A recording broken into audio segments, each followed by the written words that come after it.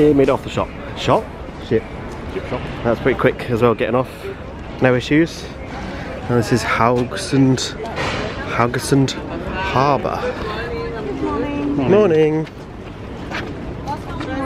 Two or one. Bus number three or four. Two or one. Seen Two or one. two or one. Thank you very much. Two or one. Two of them. Find out which one's the quietest. Well, there's number two. Few moments later. Yeah, welcome again to Haugesund. Uh, and this island we're on now is, is. It's one of the few islands that sort of protects the mainland from the from the sea. The city center is on the on the mainland, and Risøy is one of the biggest of the three four islands that sort of are just outside the city center of Haugesund. So the build, the building we see in front is uh, a shipyard, or it used to be a shipyard. Now there are more works for the oil production and gas and windmill production in the North Sea. The present company, which is occupying these premises now, is called Aibel. It's a big international company. But during the very start, when it was a shipyard in 1901, it's been a lot of different companies since then. Uh, the blue building is sort of a landmark for Harrison. It's been here for many, many decades, though not from the very start in 1901. so this island is very industrialized, but on the other side, the one that's facing the city center, there are more private houses. And right in front, which to be on the other side of the strait, is the is the main, the big church in town. You can see that.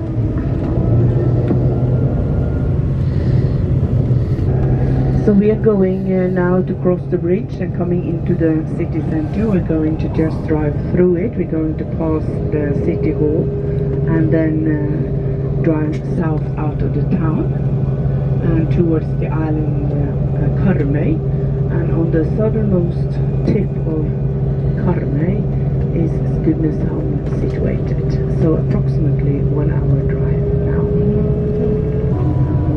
And this bridge uh, came up in 1939. So on uh, the right hand side you see the biggest hotel in town, the Quality Maritime Hotel, and to the right we can see the inner harbor. Uh, where there's a lot of restaurants and bars and nightclubs, so it's quiet now in the early morning, of course, on a Thursday but in the in the evenings, especially during summertime, it's quite crowded. so the population here in Haugesund today is around 37,000 people. It's not a very big town in uh, in, Norweg- in Norway, uh, but it's quite uh, quite busy. Quite a lot of things happening here, both with work and other activities, and. Um, with the surrounding municipalities that uh, close to the to the town. Here we talk about around 100,000 people who live in this area. And the main street in Haugesund is this one we cross now. Quiet now. It is a pedestrian area. Very large parts of it. It's called Haraldsgata and it's named after the first king of Norway Harald the First or his name is more more known as Harald Fairhair uh, long hair he had who grew, grew it for 10 years when he was unifying Norway in a long process that took him 10 years when 29 regions in Norway uh, became one nation called Norway. So this is the end of Haraldsgata and we will move over to uh, uh, which is uh, an old name uh, for shelter. And we think that it is called shelter, this road, because on the other side uh, of the water here we find Karmøy Island. And we think also it's called shelter because we know that this pilgrim route came up along the strait here on the, on the land and also by boat. The pilgrims, they were going to Trondheim in the Middle Age, to Nidaros, as it's called in those days, uh, where uh, King uh, Olav uh, was buried. He was sanctified after his death in 1030. And we usually say that he was the last of the king that tried to Christian Norway, finishing the process with christening Norway. Took took a long time. Uh, it was a, a, long road from the first uh, knowledges of Christianity from the Vikings who sailed abroad until the end it was more or less forced upon the people here in Norway. To the left we see some gardens and built big old big houses and this is where, where the ship owners settled when they grew richer. They wanted to get out of the city center which in its time must have been quite dirty and noisy. Uh, especially in the in the winter time dirt everything so uh, they moved and built houses and gardens here in this area south of the of the town and to the right here you see a white cross a big high white cross. And in front of this cross is are uh, 44 graves and these are what we call the Commonwealth graves uh, they are uh, the pilots who were shot down here during the Second World War. Uh, they were trying to destroy the German military installations along the coastline here and were shot down. The young men sacrificed their lives here in Norway. Uh, the average age would have been, I had a look at the graves, and they were around 24, 25 years. 20 minutes later. So we're crossing over this bridge um, over to Karmøy Island, which is uh, big island, a relatively big island in Norway, but it is the most populated island in Norway. Uh, so around in this municipality we talk about around 42,000 inhabitants uh, in the on the island and on the mainland too. This is a nice And now to the right, when you come on top of the bridge, you can see Iona to the right.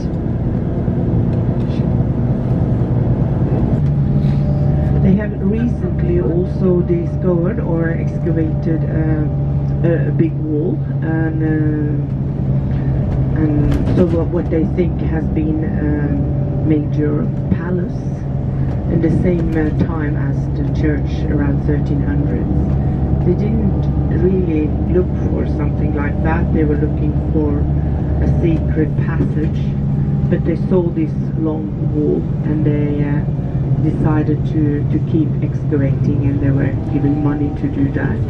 And so they discovered this big palace that they didn't think existed. So that's quite a, surprise. So it is still uh, preparing for showing for the public. Some of it we can see, but in a few years it will be like a middle-aged park where we can go into the ruins.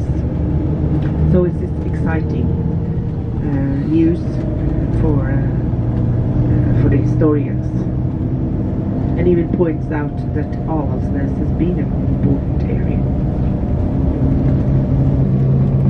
We're coming through Åkrehamn now, which is the uh, second largest town on, on Karmøy. Around eight or nine thousand people live here.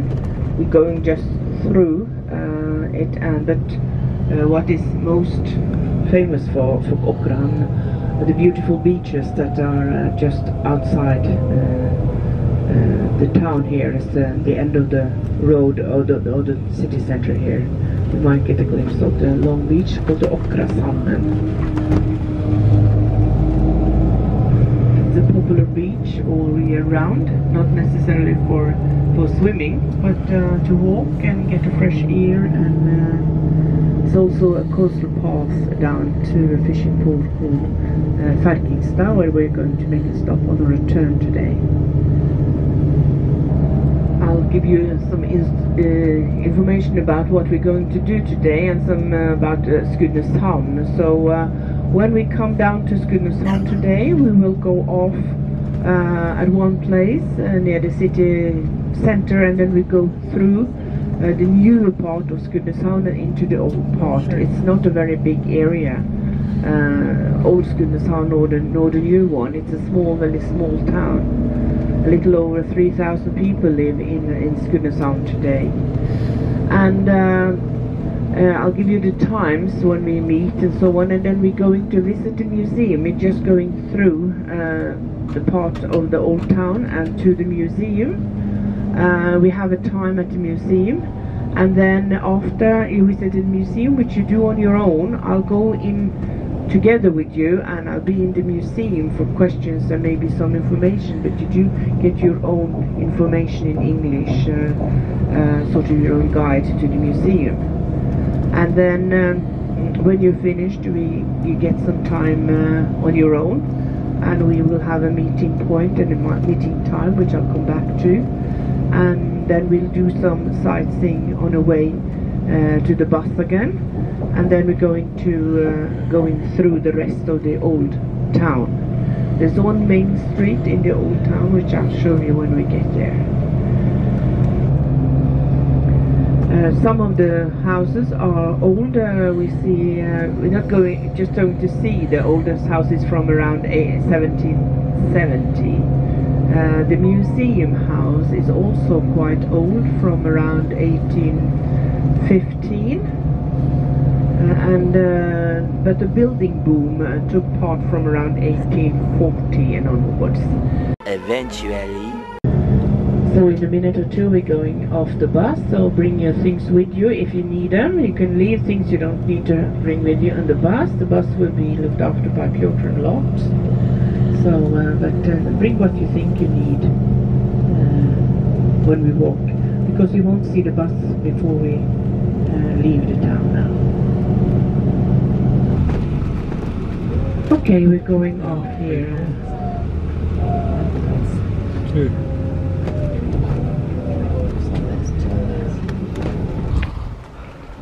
So apparently it's pronounced Skudner sound. I get very nice. That's a spoon shop. No, Spoon shop. I don't trust anything you say because you were asleep for most of the time. You were nodding off this way. For like two seconds and that was it.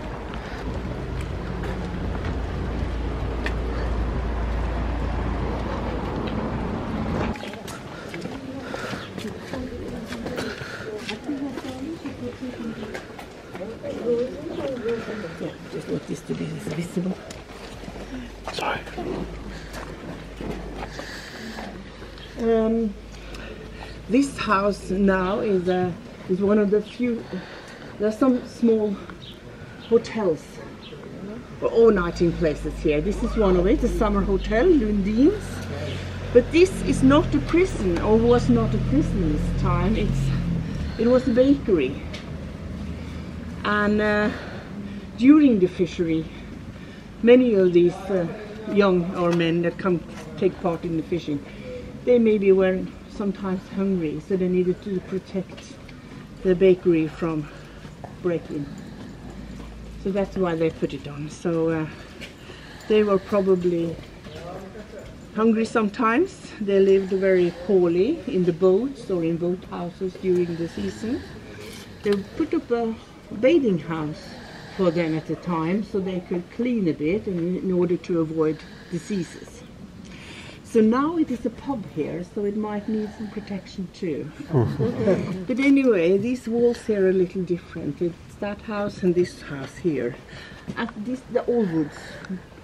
This also is wood, but they're supposed to be brick because that had a sort of higher status. So it's uh, they pretended to be bricks, but it's all wood.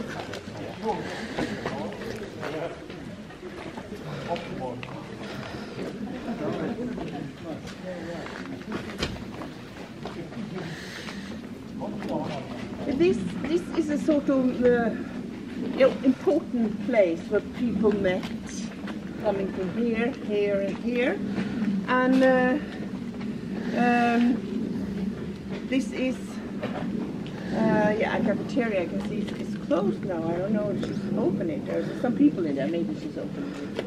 Anyway, uh, this garden here, nice roses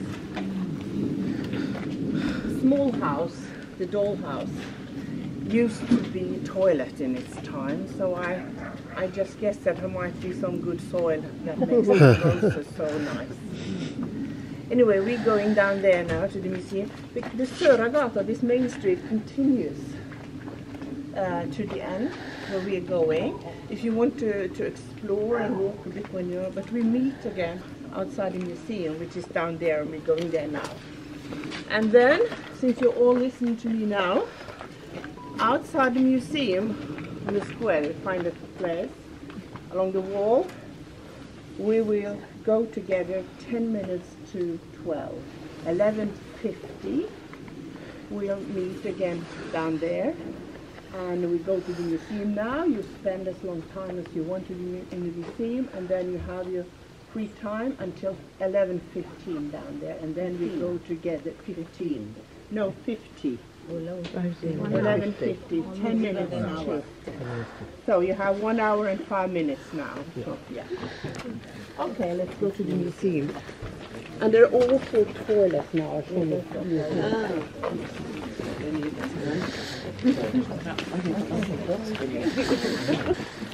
Morning. Morning. Just the, the, ta, nå har jeg tatt tidspunktet, så nå tar jeg bare doene. Uh, the toilet will be in the third door to the right, the blue door, or through the museum on the on first floor here. So, in here uh, yes, the same toilet. You can either go through the museum, the first floor, or just go directly in there. But let us hear to the introduction of the museum. So go and listen. No, please go closer.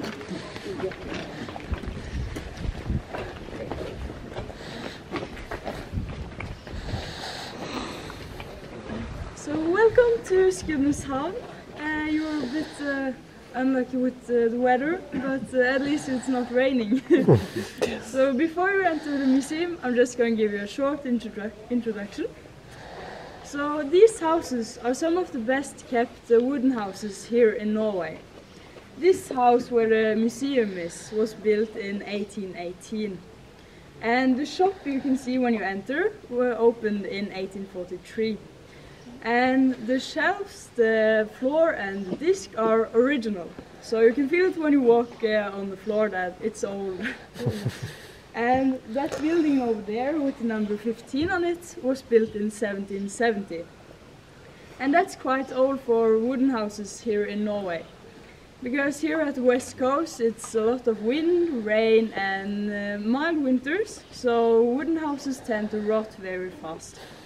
So therefore it's quite fascinating that uh, around 60% of uh, these houses have permanent residents and the rest of the houses are vacation houses. So before the museum became a museum, uh, people were living here. and uh, the last owner was a woman named Agnes Meland. And when she died, the, uh, the house was sold on an, on an auction. Uh, But rumors has it that she's still walking around. so if you feel something you can't explain, it's probably just her. But uh, don't worry, because she's not dangerous. so the museum is like a time capsule with uh, a lot of different exhibitions uh, that shows different lifestyles. Uh, so you will be provided with the walking guide.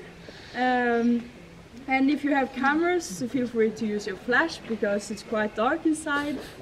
And if you want to have some coffee afterwards, you can go to a coffee shop uh, over there around the corner. And you can drink your coffee in that garden over there. So enjoy. Thank you. I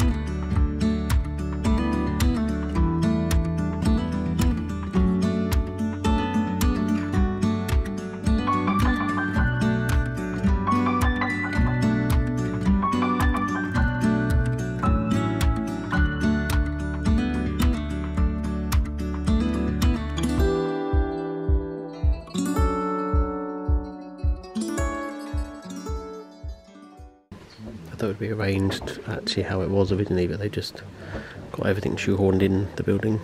Yeah, well, certain bit like Dennis, it's just like, like a shit and little corners of things just like little setups. Yeah, how they yeah they're all set ups, aren't they? Like this wouldn't have been the nursery or whatever.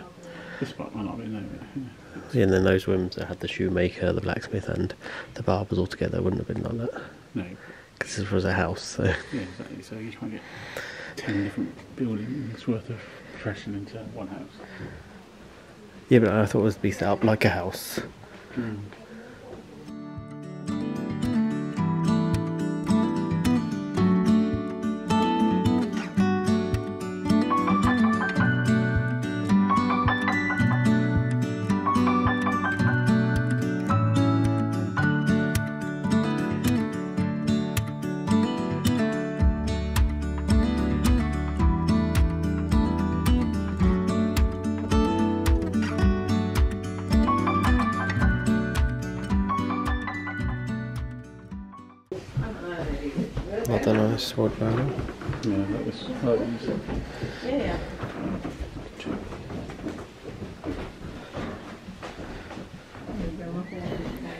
Can I ask you how do you actually pronounce the town name? Skudeneshavn. Skudneshav. Yeah, Skude is probably, as I I don't know what on the map it says Skite, that ca- could be a sort of edge. Okay. Uh, also, we know that uh, the the Skude is also sort of ship uh, with a, they have a very soft uh, language here with. Okay. Uh, uh, so, uh, but I think it's it's sort of edge. But Skudenes, Havn, Havn is harbour. Oh, okay. So it's a sort of edge harbor, which you should really divide the word. Oh, okay. But harbor is havn. Oven. Okay. Okay. Thank you. You can walk on it, no problem. Just shows that the, I think No. the curator wanted to see what was below here, because there was water here coming. So and it, probably they put uh, uh, You can see that. dirt and so on down there, and it was filled up, come water in when the when the sea comes in, come- came in. So. Okay. and he didn't want to cover it up, so he wanted to show it. But it's completely safe to walk it. Might be. I'm still not walking on it though. oh, Uh, the last lady of the house is that Mrs. Melanie. She's on the picture on the door there uh, to the left. Oh, okay. And this is how the this class of people would have decorated their houses in this period of around 1800. Having nice things from abroad. Uh, there's a punch glass and a bottle that we take from Riga, bought from Riga, which is a sweet alcoholic drink. And uh, tablecloths and all these things they had to So they, decorate. they was quite wealthy then. Yes, those were people who lived in these streets here. Eventually, not not the first generation, when they were tradesmen, the fishermen, so pretty. they, they were uh, had money, and they just uh, visited each other, so they didn't mix with the people who lived more poorly outside these streets and in, in yeah, side streets. A few moments later. Well, I finished in the museum. Did take some video of it. Hopefully, it was okay. We're just having a wander around the streets before we have to meet up with the guide again. Is it starting to spit with rain? a bit? It is starting to spit with rain, unfortunately. Just gonna go up here. A little crossroads. Just kind of remind me of like some Cornish towns with all like the houses on different levels like this. Yeah, like. Not necessarily the style of building, but Yeah, layout. hmm, I suppose it's the only town that's got hills. yeah. It's the coffee shop.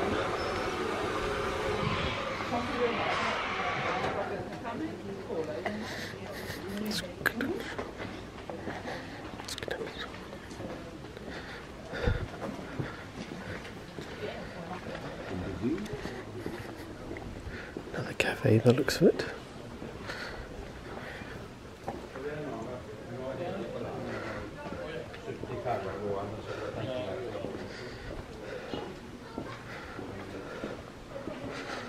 Where we're going. At least we're going down one road, we shouldn't get lost.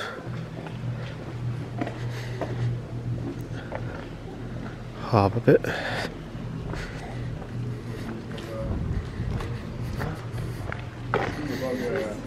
Thank you.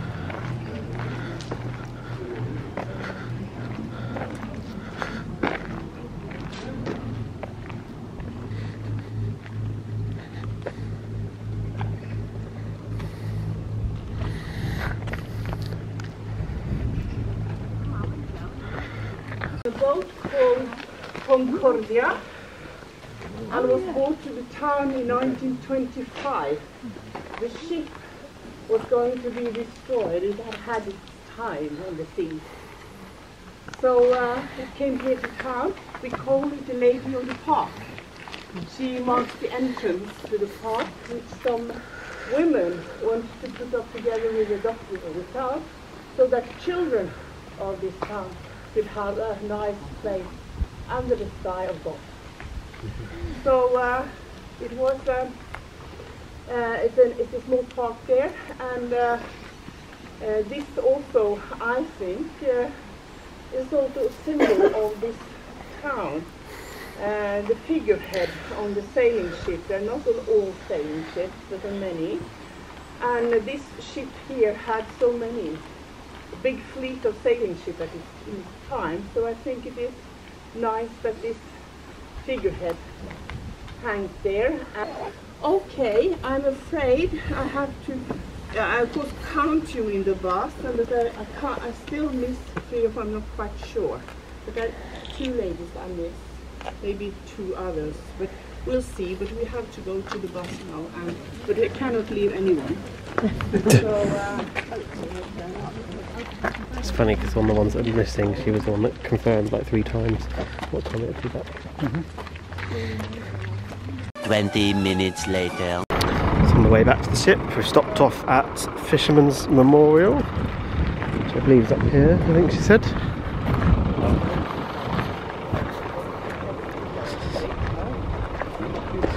Yep, looks like it.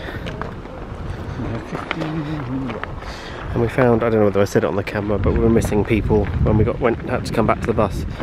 But we eventually found them. On the bus. They were on the bus, even though the bus wasn't where we left it because we walked through a town. Anyway, nice view out to sea. So it's like the Fisherman's Memorial coming up just here.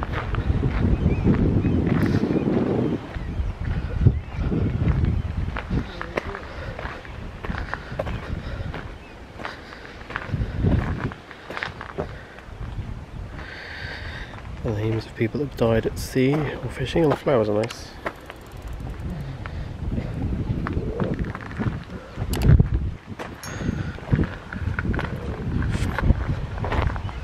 This is the altar she was talking about, I assume. I assume this is the altar she was talking about. People come here to get married and stuff.